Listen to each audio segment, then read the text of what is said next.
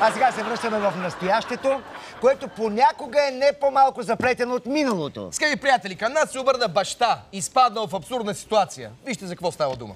Кажете какъв е проблема и защо потърсихте нас от господари на ефира? Значи един вид съм жертва на едно изнудване от а, бившата ми съпруга. Имам развод от април миналата година. С моята съпруга направихме споразумение децата да бъдат при нея. Обаче децата не искат да бъдат при нея и от самия ден, в който аз се изнесох от общото ни жилище, те са при мене. И от тогава почна системен турмоз. Как тя ви турмози и всъщност само вас ли турмози или и децата? Тя ми праща частни съдия, изпълнители, адвокати с едни сериозни такси от по 1000 лева, които аз плащам на всяко едно предаване. Преди около две седмици предадох децата доброволно, макар че аз не съм ги вземал на сила, те са дошли при мене, за цената от около 1000 лева. 900 и няколко лева е цялата процедура по предаването на децата. Първият път ги предадох на държавен съдия изпълнител, следващия път нали, на частен съдия изпълнител и сега пак на частен съдия изпълнител. Това за какъв период от време става три пъти да ги предавате? Ами първият път беше веднага след развода. И сега тук за порядъка на две седмици ги предавам два пъти доброволно. Някакво дело а, завели ли сте в съда, след като децата искат да са при вас, те да бъдат при вас, но по законов път. Значи бях завел преди два месеца дело за правата на децата. Съда ни одобри моя иск и пак трябваше да ги предам. И аз ги пак, пак ги предавам доброволно.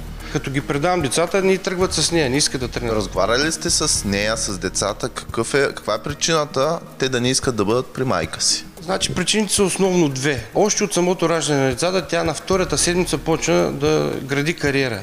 Значи липсата вкъщи е основният проблем, в който тя не познава децата. Даже по телефона, като говори с едното дете, бърка имената. Втората причина е, че след развода тя заживя с човек, който децата не искат да ходят при него.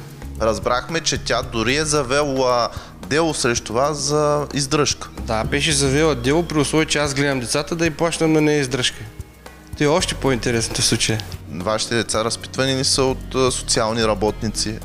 Да, те направихме пътека до социалните работници. Те идват тук постоянно. Питат ли а, вашите деца при кого искат да останат и защо не искат, примерно, да останат при майката, ако не искат? Всеки път ги питат и има протоколи, които може да изискаме от тях да ги разгледаме.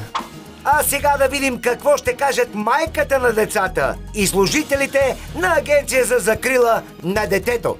се налага с съдия изпълнител да бъдат а, вземани децата ви, след като все пак това са вашите деца. Защо просто не дойдете да си ги вземете и да ги гледате? Децата една далече. година и един месец не мога да си ги взема. Защо? А, ви... Тата доброволно ни ги дава и ги манипулира.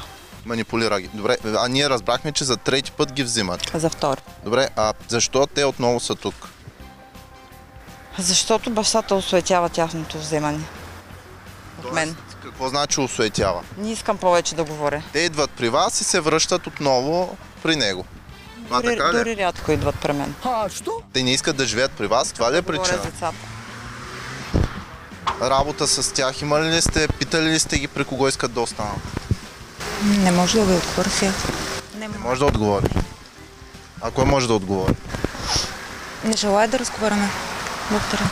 Добре, кажете с кого тогава от вашата агенция трябва да разговаряме? Може ли да свършим някаква работа, която да е полезна за Явно децата? вие свършвате някаква работа. А вие свършвате ли? Аз, аз не. Никое дете не заслужава да се превръща в инструмент на лични битки. Точно за това има институции като Агенцията за закрила на детето, за да обръща внимание на мнението и на децата в подобни конфликти, смятаме ние. Абсолютно. Лошото е, че вместо да помогнат, институциите често допълнително сложават нещата със своите действия или бездействията си. Очакваме в този случай да вземат правилното решение. Забележете, защита на децата. Благодарим!